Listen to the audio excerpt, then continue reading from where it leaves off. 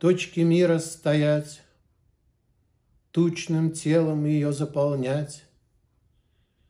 Под молочную кожей руки слабый воздух нежнеет, И дождем, набираясь сознания, Вдруг тяжелеет, рассыпается на черепки, И уходит буксир под темнеющий свод, Выворачивая рукав мирового пространства Его, исчезая, взорвав.